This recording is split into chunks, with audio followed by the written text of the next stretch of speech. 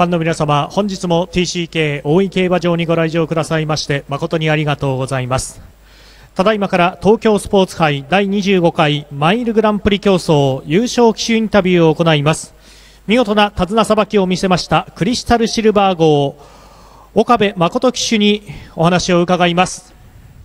3歳馬コバを破っての重賞制覇となりました。今のお気持ちから教えてください。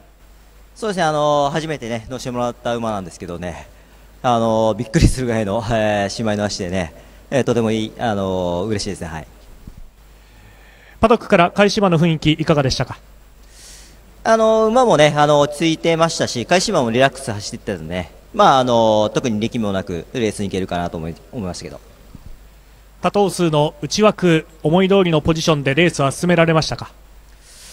もう少しね、あの前前で競馬したいなと思ったんですけど、まああの初めてのね、小馬戦でまあちょっと位置取りは悪くなったんですけどね、あの人気馬見ながらだったんで、まあ理想的な、えー、位置取りでしたね。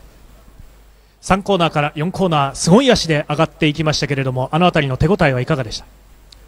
いや乗っててもねあのすごい足でねびっくりするぐらいの足で、まあ、ちょっとあの先頭出すの早いかなと思ったんですけど、まあ、あえてそこをねあの抑えずにね、えーまあ、そのまま馬の気持ちで生かしたって感じですね。直線競合も迫ってきましたが押し切れる感触ありましたよね。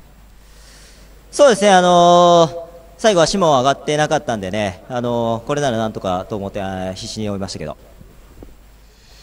それでは応援してくださったファンの皆様にもう一言岡部氏からメッセージをお願いします。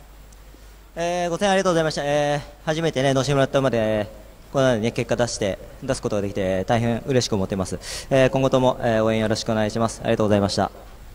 岡部誠騎手にお話を伺いました。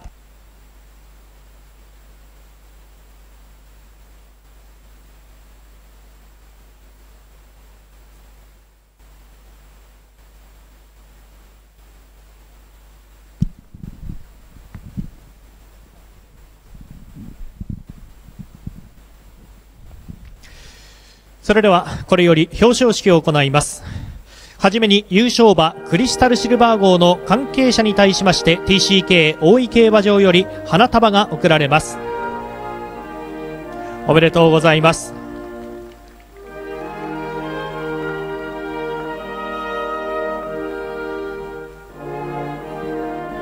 続きまして特別区競馬組合斉藤博副管理者よりオーナーの岡田勇様に対しまして賞状並びにメダルが贈られます。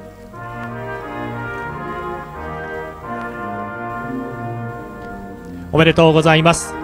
岡部誠騎手に対しまして記念品が贈られます。おめでとうございます。村上頼明調教師に対しまして記念品が贈られます。おめでとうございます。安倍俊明厩務員に対しまして記念品が贈られます。おめでとうございます。また生産者は大狩部大狩部牧場様でございます。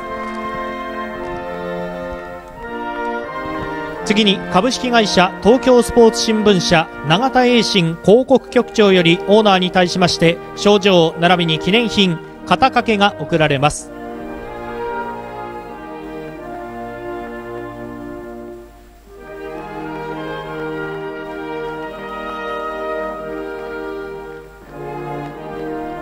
おめでとうございます。騎手に対しまして記念品が贈られます。おめでとうございます。調教師に対しまして記念品が贈られます。おめでとうございます。厩務員に対しまして記念品が贈られます。おめでとうございます。次に東京都馬主会大吾信之副理事長よりオーナーに対しまして賞状並びに記念品が贈られます。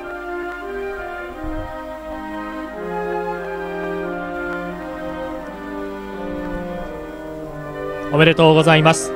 主に対しまして記念品が贈られます。おめでとうございます。調教師に対しまして記念品が贈られます。おめでとうございます。厩務員に対しまして記念品が贈られます。おめでとうございます。次に競馬観戦型レストランダイヤモンドターンのコンパートメントルームご招待券がダイヤモンドアンバサダーの空風舞樹さんよりオーナーに対して贈られます。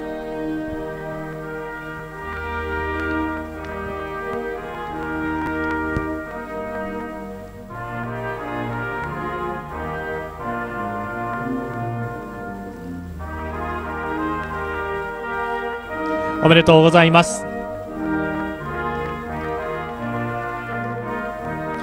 これをもちまして東京スポーツ杯第25回マイルグランプリ競争の表彰式を終わります。最後に優勝馬クリスタルシルバー号の関係者の皆様に対し今一度盛大な拍手をお送りください。優勝おめでとうございます。